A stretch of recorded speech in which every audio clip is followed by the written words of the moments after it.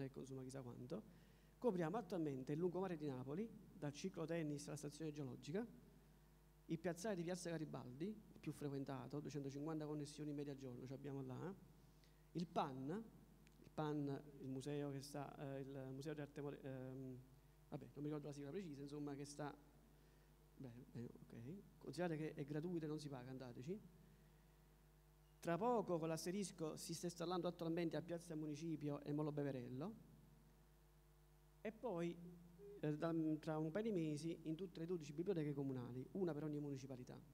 Visto che questo progetto è andato bene, ha funzionato e c'erano sei aziende che hanno partecipato, abbiamo detto scusa facciamo una cosa, nel 2013-2014 facciamo un altro bando che stiamo scrivendo, sempre sponsorizzazione, e diciamo che noi vogliamo coprire tutta la linea 1 della metropolitana di Napoli, sia le banchine sia le tratte sotterranee, compresa Piazza Garibaldi, che tra poco, come sapete, si, si aprirà. Linea 6, funicolari e parchi e giardini. In realtà la linea 1 e la linea 6, il bando copre sia wifi che 3G. Abbiamo già scritto il bando, siamo pronti. È un po' più difficile perché visto e considerato che la prima volta c'è stato il successo della gara, abbiamo detto, questa volta oltre a mettere i banner, ci pagate pure visto cosa a Napoli sembra sul fatto che si spara a Milano, spara a Napoli. Quindi in realtà chi si aggiudica linea 1 e linea 6, cioè le tratte, in realtà pagherà addirittura il comune per offrire wifi. Eh, eh, quindi diciamo che per il 2013-2014 sicuramente dovremmo avere sicuro linea 1 a meno di qualcosa, fine Piazza Garibaldi, che dovrebbe aprire verso fine, eh, fine anno, anzi apre sicuramente verso fine anno, e la linea 6 in realtà abbiamo fatto anche qualche sperimentazione con ANM eh, per quanto riguarda i bus R2, metterci un access point sopra, e per quanto riguarda la, la gestione wifi sulle 400 pensiline ANM elettrificate. In realtà non sappiamo se andiamo avanti su quella, sulla, sulla, sperimentazione sui bus, però in realtà è un'idea che volevo portare avanti. Sa, questo è il portale che abbiamo fatto, è il portale OGMS gratuito, eh, c'è un CMS fatto internamente in PHP, con tutte le varie funzioni, questo è quello che voi vedete quando vi collegate con il wifi, questi sono i punti già attivi, questa è la simulazione di quello che accade su uno smartphone quando vi collegate con i punti attivi della zona. E, e ho finito, quindi grazie a tutti, quello è il mio account Twitter, se mi seguite guadagno qualche altro follower. E vi ringrazio tutti.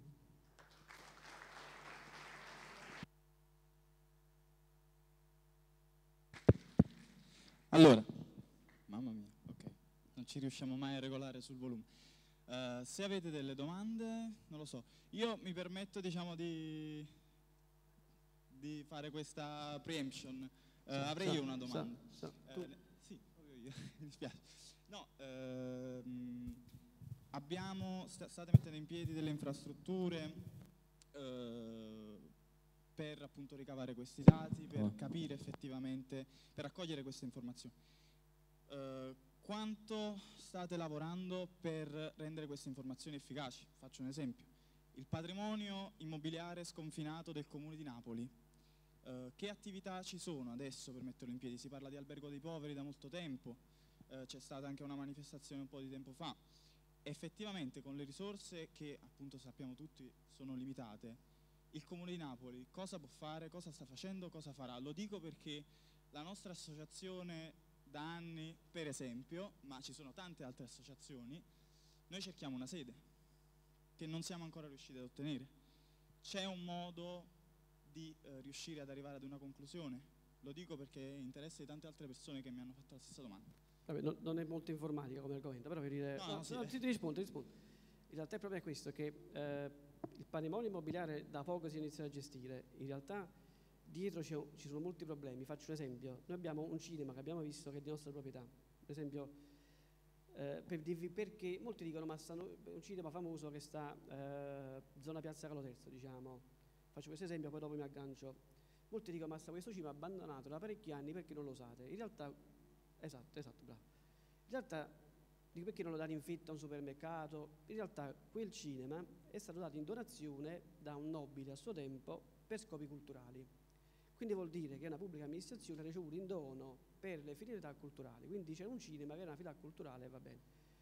Non si può fare destinazione cambio d'uso in maniera rapida, per cui quel cinema sta lì O ci sta qualcuno che dice voglio metterci una biblioteca, ma non è che si guadagna con le biblioteche ovviamente. Oppure vuoi, vuoi dire, può, uno potrebbe dire ci mette una palestra perché la palestra viene la Corte dei Conti il giorno dopo e dice oppure vengono gli eredi della nobile. E quindi vuol dire molte volte alcuni immobili hanno dietro una storia molto complessa. Per quanto riguarda l'albergo dei poveri ci sono dei progetti che stanno portando avanti. Eh, in realtà ci sono anche molte stanze già disponibili. Eh, però questa è una domanda più dell'assessore al patrimonio che vi sa rispondere. In realtà ci sono anche dei bandi che si stanno preparando affinché le associazioni possano partecipare, qualcuno è stato anche assegnato per esempio qualche tempo fa, per cui dovrebbero uscire, non, non so dirti una data, però dovrebbero uscire dei bandi di assegnazione di alcuni immobili proprietà del Comune di Napoli per associazioni che hanno una certa finalità. Non so dirti i tempi, quali sono. Il problema principale è capire se immobile per immobile qual è la sua finalità d'uso perché si può scoprire che semmai viene dato quell'immobile all'associazione di informatica, faccio un esempio, ma in realtà la, la vecchietta che fortunatamente ce l'aveva regalato diceva no, si può fare soltanto una macelleria. E quindi o dopo un macellaio che lo vuole fare, faccio un esempio, insomma, infatti, quindi a volte la complicanza, la, la, il problema principale non è tanto quello di volerle le cose. Io per esempio sono informatico, a volte scopro che dietro c'è un mondo talmente complesso eh, scopri per esempio che ci sia una villa famosa che è abusiva, cioè sta là da 200 anni è abusiva, cioè eh, come si fa? Quindi non è che si può assegnare, bisogna prima cercare di riparare il problema che è stato da vent'anni non ci sta. Quindi, però su questo si sta ragionando. Per quanto riguarda dei poveri ci sono varie idee, ma insomma da fare o mettere qualche ufficio comunale, eh, perché abbiamo fitti passivi, cioè abbiamo dei fitti dove paghiamo, avendo 60.000 immobili ovviamente conviene togliere da una parte e mettere dall'altra. Non è facile spostare persone, non è facile portare la rete, non è facile perché ovviamente devi fare primi lavori, quindi che anticipi i soldi e poi dopo risparmi. Po' il cane che si morde però si sta facendo questo. Quindi diciamo sì, ci sta questa idea, l'assessore Fucito, l'assessore al, bilancio, al patrimonio, sta lavorando su questa cosa qua. Sicuramente, cioè, per noi è una, è un'ottima occasione questa di confronto perché Cosa? cittadini, istituzioni, diciamo, è certo, importante certo. che anche poi le persone che sono qui oggi siano in grado di parlare con una persona che proprio, si occupa di questo. Ecco. C'era un'altra domanda? Domanda sul wifi cittadino, come funziona l'autenticazione tramite squillo? Questa, questa, è una bella...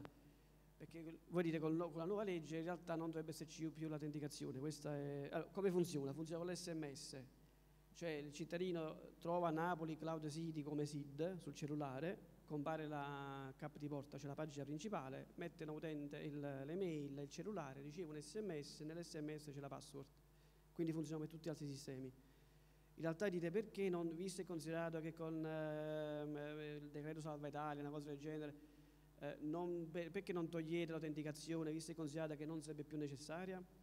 Il problema è questo, che il servizio wifi non lo può dare una pubblica amministrazione, cioè in realtà il servizio wifi è vietato che una pubblica amministrazione fornisca direttamente il wifi, lo deve fare tramite un provider.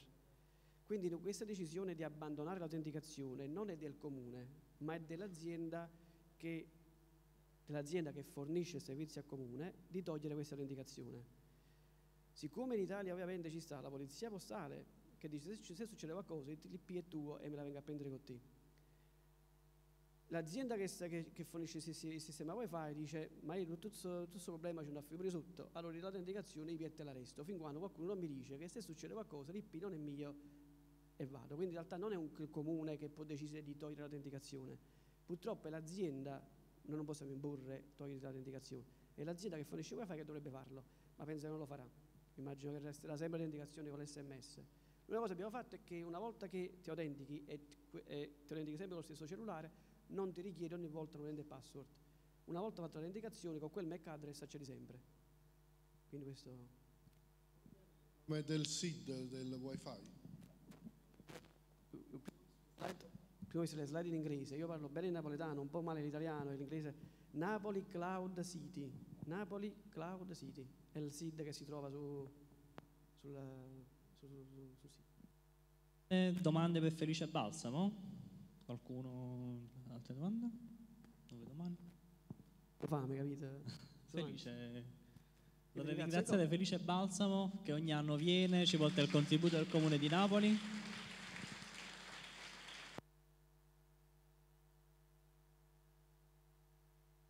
Ringraziamo lui e ovviamente il comune che nella sua persona diciamo, mostra il suo interesse verso la nostra manifestazione.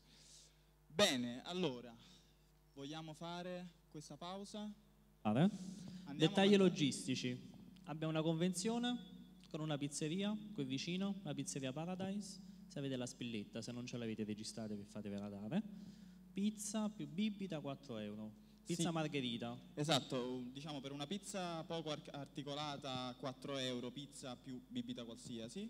Eh, invece per pizza un po' più, diciamo, se vi volete sfondare, eh, siamo sui 6 euro. Va bene, dovete mostrare la spilletta che vi è stata data all'ingresso, come ha detto Gianfilippo. Ci Noi siamo vediamo- qui alle 3 e vediamo alle speriamo che 15. ci siate anche voi. Va bene, a più tardi.